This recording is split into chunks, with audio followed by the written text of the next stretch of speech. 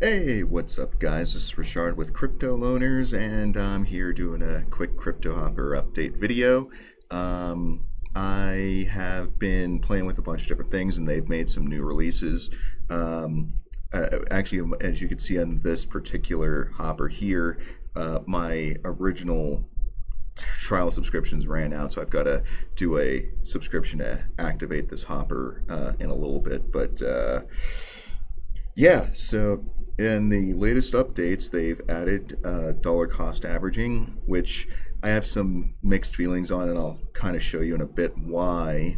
And they've also added uh, trailing stop buy, and that's what I'm really super excited about right here. Like this kind of puts things, um, I'd almost say even more on par or in favor of Crypto Hopper over something like Profit Trailer.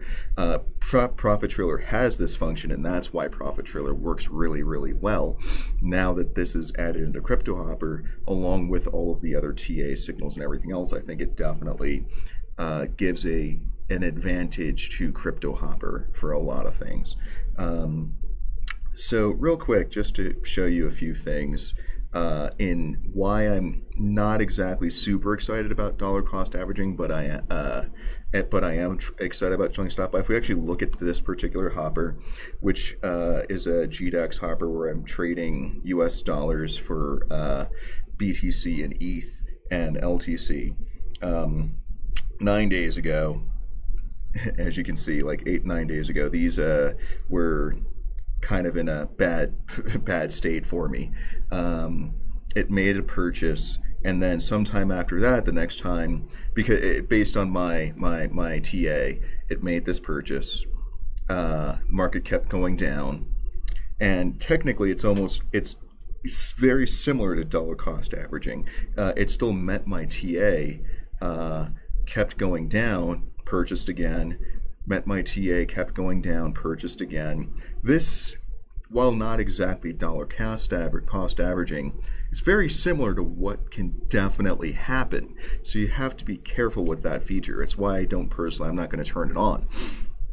Now, going through that exact same scenario and logic, if I had a trailing stop buy, um, at let's just say 1%. Like it had to, and what a trailing stop buy basically is, is that if you have a coin that is, that met your trigger, uh, it will check and see like, okay, it, let's just say as a hypothetical, you have a trailing stop loss at 1%.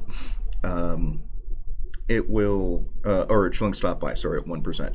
It will uh, look at that current price and see what it's doing. If it's still going down, it won't buy yet. It'll wait until it hits an uptrend of 1%. So looking at at these actual prices at a negative 6 like this was still headed down negative 5 6 this was still heading down negative 5 5 8 this was still heading down at a negative 393, the difference between these, if I had it set at 1 or even 1.5, chances are it went up some. So it probably would have bought here and bought here, um, but it wouldn't have purchased these other three. Um, there's a, and there's a possibility that uh, because these have actually gotten close to being positives at some point, they probably were a little positive, but not positive enough enough for me to sell. Um, while these never got close to being positive, so there's the, the the the difference and and if it purchased after these triggers because if I only uh, were allowed three posi- or these five positions um, it the the next three might have been positive enough where it probably could have sold um, so that's why trailing stop buy is a good idea.